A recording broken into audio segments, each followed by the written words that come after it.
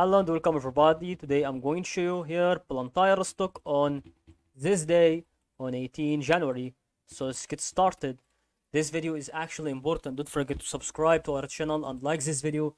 And let's go. Here on the stop line, another stop line here, another resistance, another support, another resistance, another strategic form here.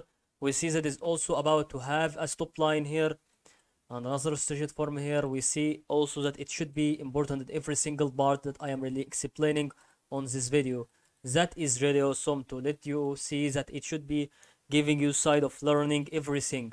That is about to be showing here on from 20 USD to 6 USD and CT so that is really important to check out why we are looking for that so far that is may because we have to look about uh, for that stuff here on the Palantir stock. As you can realize there is no doubt about understanding that also sh should be checked on every single data on every single day that I am really talking about here. So maybe we see that it should be also about to give some instructions on the stop line here.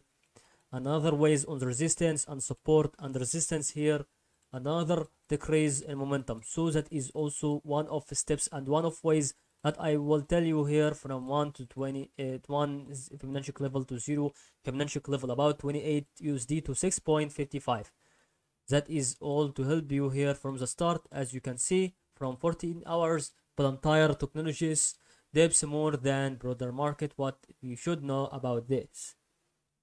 Still a very great opinion to learn why we are having this kind of the stock in front of us as soon as possible to be giving on through a very good stuff as you really realize